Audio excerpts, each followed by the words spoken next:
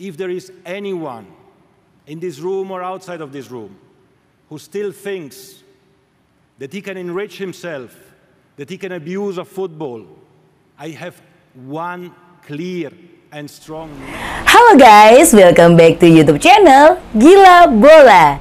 Nah, kalian pasti penasaran kan? Ada kabar terbaru apa dari timnas Indonesia? So, pastikan kalian tetap stay tune terus ya di YouTube channel Gila Bola dan jangan lupa like, subscribe, serta aktifkan notification-nya biar kalian gak ketinggalan update berita terbaru dari Gila Bola. I lost my best friend to 23. She left her body in Harvard. Perwakilan FIFA mengaku terkesan melihat persiapan Indonesia untuk menjadi tuan rumah Piala Dunia U20 2023.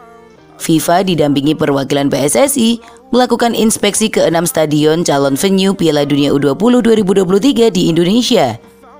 Enam stadion yang disiapkan untuk Piala Dunia U20 2023 adalah Stadion Utama Gelora Bung Karno, Stadion Jakabaring, Stadion Sijalak Harupat, Stadion Manahan, Stadion Gelora Bung Tomo, dan Stadion Kapten Iwayan Dipta.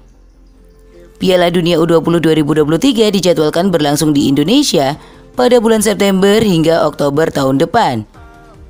Kunjungan inspeksi FIFA ini sebagai penanda dimulainya persiapan penyelenggaraan Piala Dunia FIFA U20 2023 di Indonesia.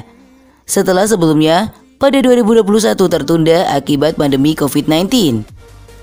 Dalam kunjungan kali ini, FIFA bukan hanya melakukan inspeksi terhadap stadion, tapi juga lapangan latihan dan hotel di enam kota di Indonesia pada 8 hingga 17 Juni.